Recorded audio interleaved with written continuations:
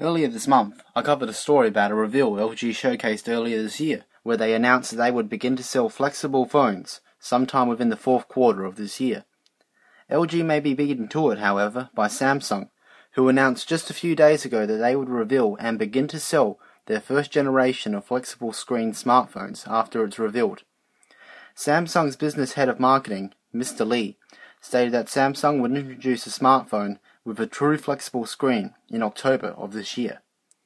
Samsung already had a phone with a curvy screen for sale, but it was not flexible. What this design of phones helps to do is better protect against falls and drops. Since the screen is flexible, it would be able to better protect against itself against a fall. Speculation of the design has already begun. We know from the CEO of Samsung that he has stated that the phone would be curved shaped, but not completely flexible. This means that the screen itself may be able to bend into various different shapes, but the hardware on the phone would ultimately limit the amount of shapes the phone can be.